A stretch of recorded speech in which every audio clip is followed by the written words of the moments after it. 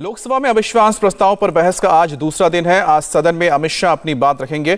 अमित शाह के साथ बीजेपी की तरफ़ से राज्यवर्धन सिंह राठौर, रामकृपाल यादव और लॉकेट चैटर्जी अविश्वास प्रस्ताव पर अपना पक्ष रखेंगे। चर्चा के पहले दिन कांग्रेस ने मणिपुर में सरकार को घेरा तो किरण रिजिजू ने जवाब दिया। आखिरी पलों में राहुल गांधी बोलने नहीं आए तो संसदीय कार्य मंत्री ने सवाल पूछ लिए। इसी नोकझोंक के बीच शाम को छह बजे तक बहस हुई। अब आज दोनों खेमे नई रणनीति के साथ मैदान में उतरने वाले हैं। दिल्ली सेवा बिल पर बड़ी जीत हासिल करने के बाद आज अमित शाह फिर से विपक्ष को करारा जवाब देने की तैयारी कर चुके हैं। ये भूल वो कभी जनता के सामने कबूल नहीं करना चाहते मौन रहना पसंद करते हैं। सर हम तो राहुल गांधी जी के भाषण सुनने के लिए हम हम हम उत्सुक है सर। हम उत्सुक है राहुल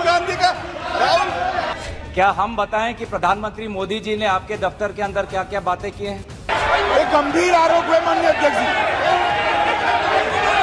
उनको दो काम करना है।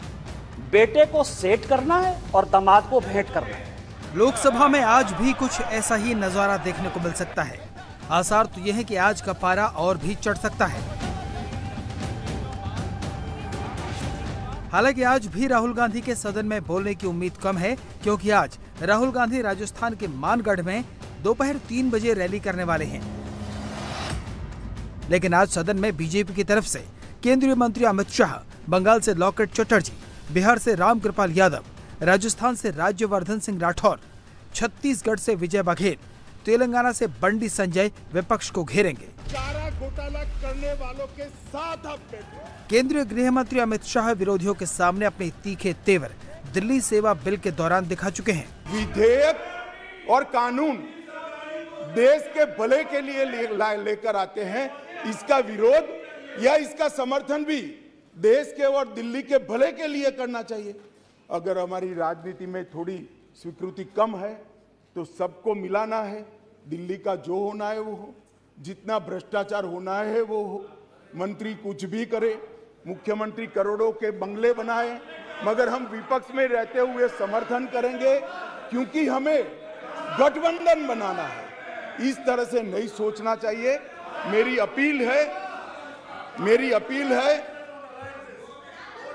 मेरी अपील है विपक्ष के सदस्यों को कि आप दिल्ली की सोचिए एलायंस की मत सोचिए।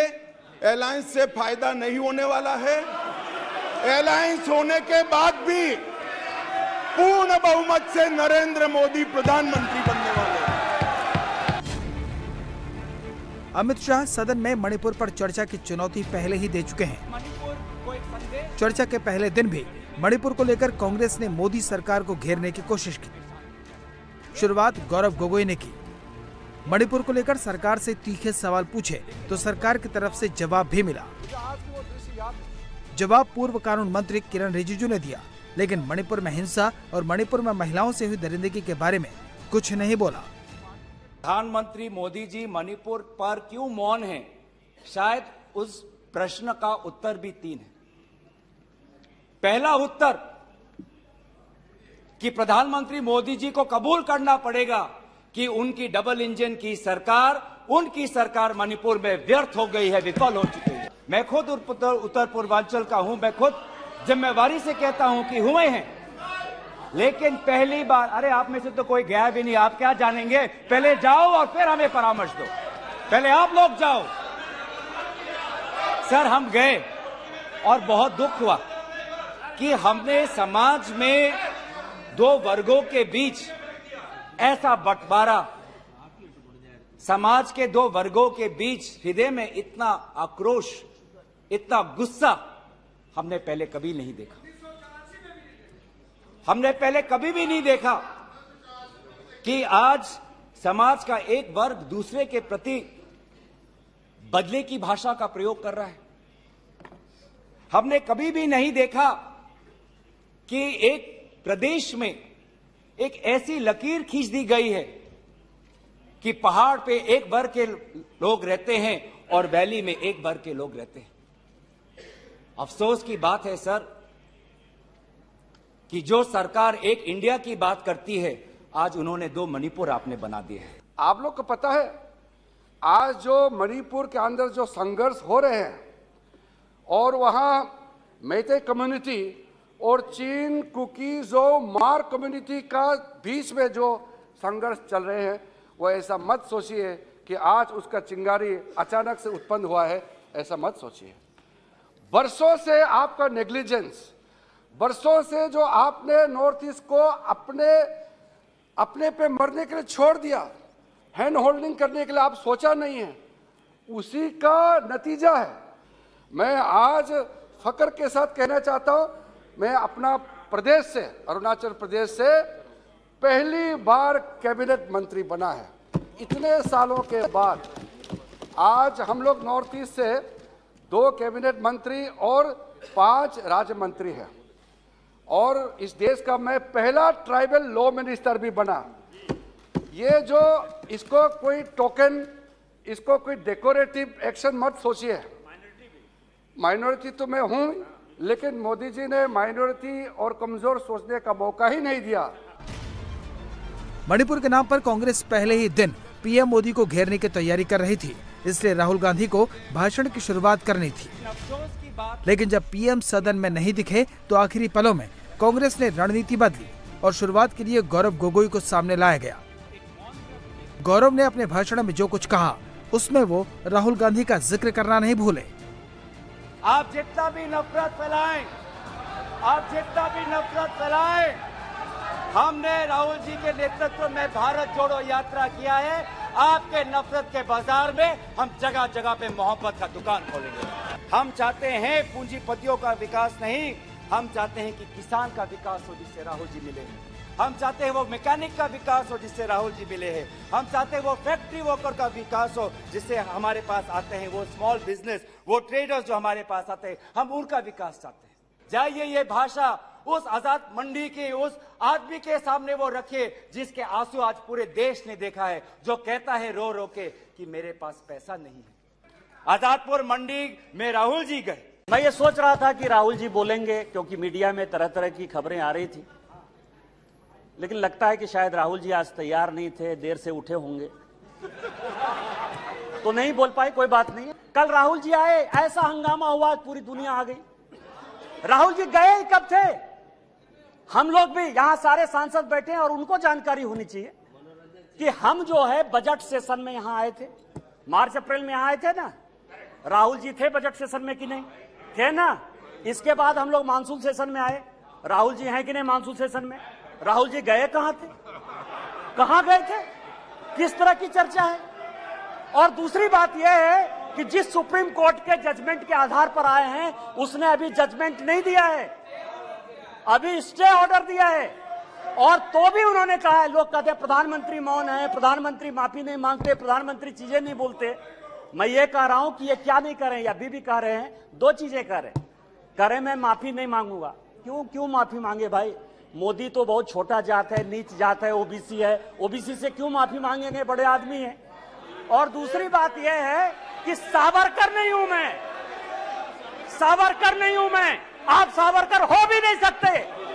कभी ज़िंदगी भी नहीं हो सकते। 28 साल उस आदमी ने जेल में गुजारा है। आप अपनी तुलना सावरकर से करते कभी सावरकर नहीं हो सकते।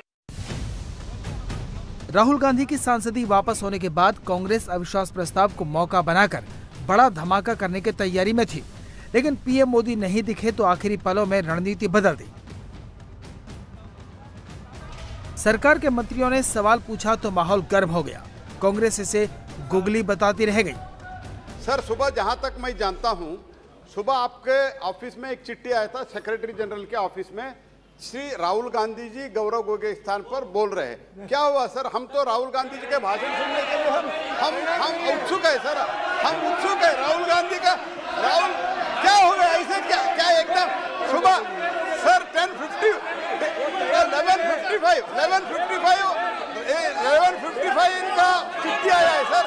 अभी बारह बजे चेंज हो गया। क्या हो गया? थोड़ा हमको भी समझ में आए सर। यही हमारा request let me understand what has happened sir So he, he just at 11.55 he has given a letter that Mr. Rahul Gandhi is going to speak. What happened in five minutes? What is the problem, sir? We are very much enthusiastic to listen Mr. Rahul Gandhi, sir. क्या हो रहा है क्या दरखास्त दी गई है आप आप खुद ही आप इस सदन के रक्षक हैं आपके दफ्तर के अंदर क्या बातचीत हुई है क्या हम बताएँ कि प्रधानमंत्री मोदी जी ने आपके दफ्तर के अंदर क्या क्या बातें की हैं? हम नहीं कहते कोविड के सब चाहिए। माननीय अध्यक्ष जी, बताना चाहिए। बताइए। एक गंभीर आरोप है माननीय अध्यक्ष जी। बताइए।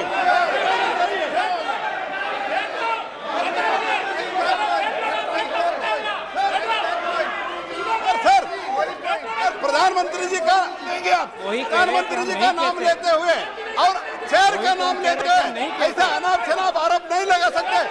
वो उनको बताना चाहिए। दफ्तर में जो बात हम आपके विश्वास में रखते हैं और आप जो बात हमें कहते हैं उसको भी उसकी भी विश्वसनीयता हम बचा के रखते हैं। एक मिनट एक मिनट आप सब एक एक मिनट बैठिए। राहुल जी बोलेंगे कांग्रेस मोदी को घेरने की रणनीति बनाकर आई थी, लेकिन सत्ता पक्ष के सांसदों ने राहुल गांधी को घेर लिया और लपेटे में सोनिया गांधी भी आ गई। अविश्वास प्रस्ताव किस लिए आया? यहाँ सोनिया जी बैठी हुई है। सोनिया जी का मैं बड़ा सम्मान करता हूँ, सर। सोनिया जी, मुझे जो लगता है कि उनके पार्टी की, उनकी दो मनस्थिति है।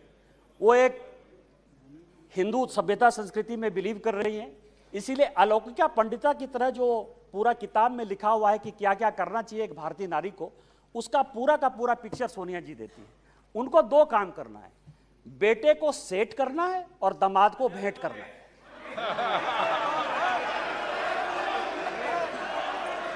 मैंने दोनों बातें कही कि बेटे को सेट करना है और दामाद को भेंट करना है। मैं अपने बात पर कायम हूँ, सर। आप ये समझे, सर, ये ये केस है सर, इनकम टैक्स का केस चल रहा है। नेशनल हेराल्ड का इनकम टैक्स का एक केस चल रहा है। ट्रिब्यूनल में, मैं जो भी पेपर कहेगी कांग्रेस, मैं on the floor of the house जो है इसको रखने को तैयार हूँ। और यदि इसमें एक भी बात गलत होगी तो मुझे आप सदस्यता से उसी दिन निकाल दीजिएगा सर। लेकिन कांग्रेस पार्टी को सुनना चाहिए सर। इनकम टैक्स अथॉरिटी ने कहा कि ये फाउंडेशन के जितने इनके केस है नेशनल हेराल्ड के जितने केस हैं, उसकी असेसमेंट करें। हाई कोर्ट का आदेश, सर हाई कोर्ट का आदेश आ गया। हाई कोर्ट का आदेश आ गया कि इसको जो है सेंट्रलाइज करना ये हाई कोर्ट का आदेश है, सर। अभी अभी ये सुप्रीम कोर्ट चले गए। अब आप समझिए कि इनकम टैक्स से बचने के लिए एक लाख एक लाख रुपया देके कोई पाँच हज़ार करोड़ की कंपनी ले सकता है, ये मैडम सोनिया जी और राहुल जी बता सकते हैं, सर कोई दूसरा नहीं बता सकता। अविश्वास प्रस्ताव पर चर्चा कल गुरुवार शाम तक चलेगी। इसी दिन राहुल गांधी भी बोलने वाले हैं। इसके बाद चार बजे प्रधानमंत्री नरेंद्र मोदी इसका जवाब देंगे। सरकार का मुखिया होने के नाते प्रधानमंत्री ही अविश्वास प्रस्ताव पर चर्चा का जवाब देते हैं। इंडिया टीवी हर वक्त, हर जगह। डाउनलोड करने के लिए सर्च करें India TV news, Google play store या एप स्टोर पर।